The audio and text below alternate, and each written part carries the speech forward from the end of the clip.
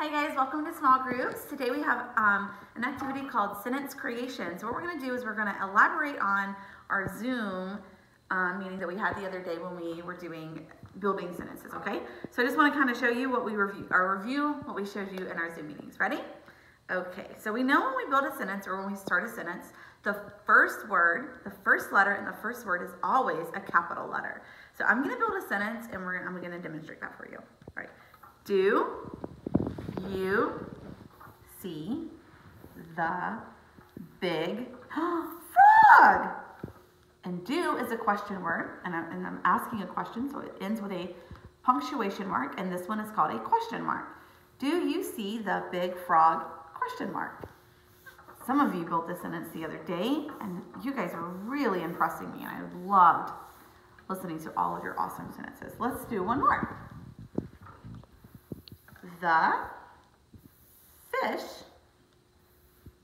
is small. Remember, it starts with an uppercase letter. The fish is small.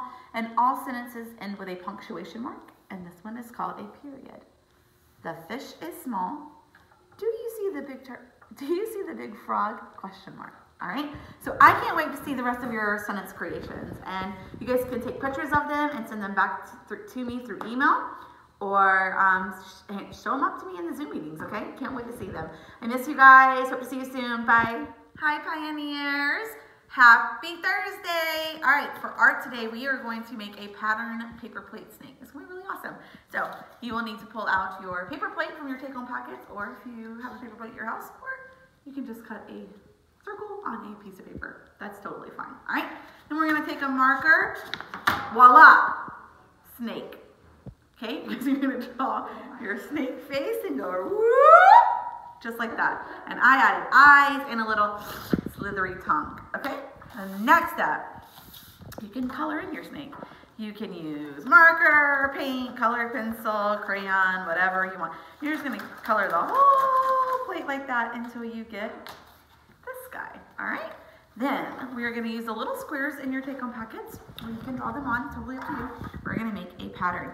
And I'm going to make this pattern. I'm going to use, let's see, orange, orange, red,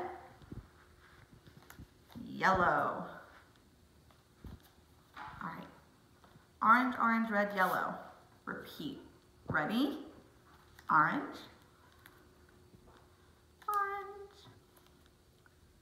red, yellow. Repeat.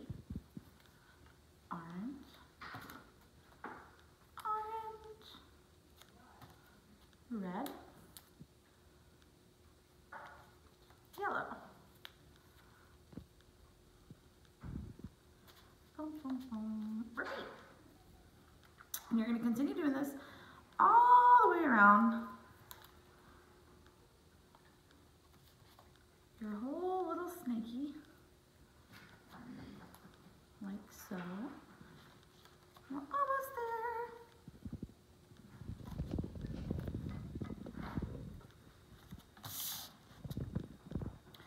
Orange, orange, red, yellow.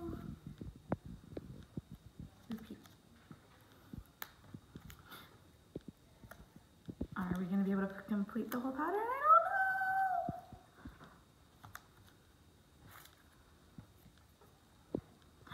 we are red, and the last one will be yellow. Like right there. all right, now that we glued all our pattern, or, or the whole pattern on, hold on, one yellow fell off. It's hard to get them to stay on those rivets. All right, next you're gonna take your pair of scissors, and when we use scissors, thumbs up, fingers on the bottom, and you, you hold it, use your thumb up as well. And we're just gonna cut our little snaky. And you wanna go around everything. And we wanna make sure his slithery tongue is there.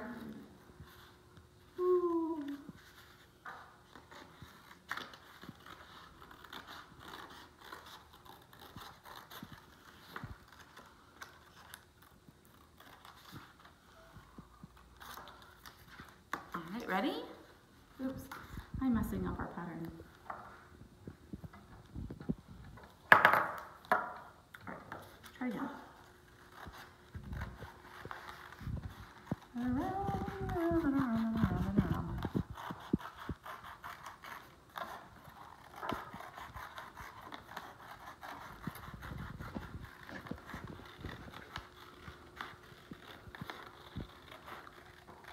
And I'm turning the paper plate as I move forward with the scissors.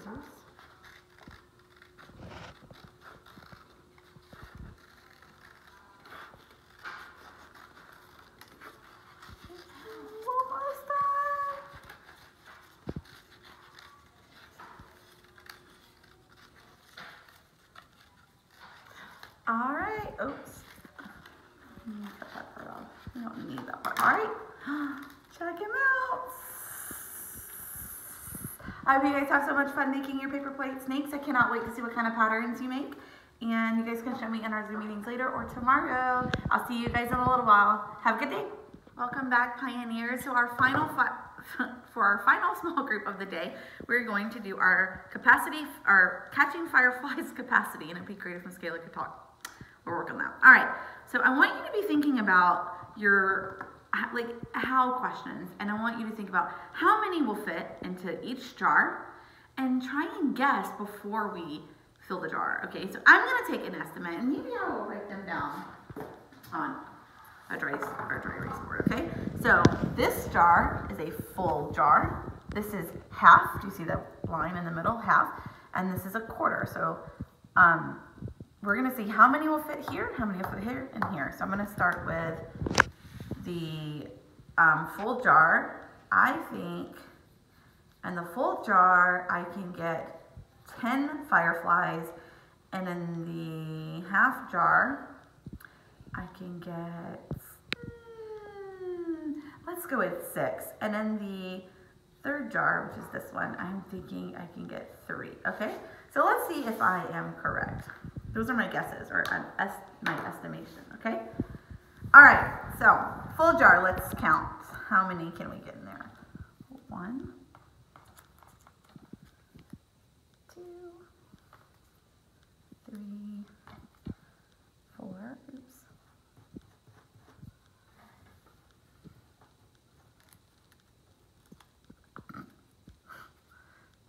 Four, five, six, seven, eight,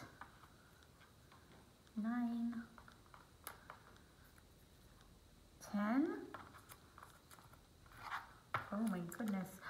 11. So I guessed at 11 and my guess was 10. So I was so close, but it actually will hold 11. You might be able to do a better job cutting, so you might get more in yours. I don't know. All right, let's move on to the half jar, okay? Let's see.